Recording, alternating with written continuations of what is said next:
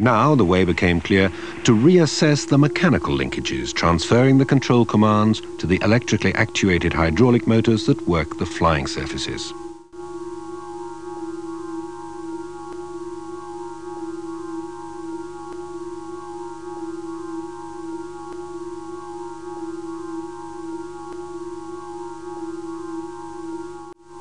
As electrical signals were already being used to control the motors, the logical step now was to send the message to them direct from the control column by electrical wire, resulting in a far simpler and lighter system.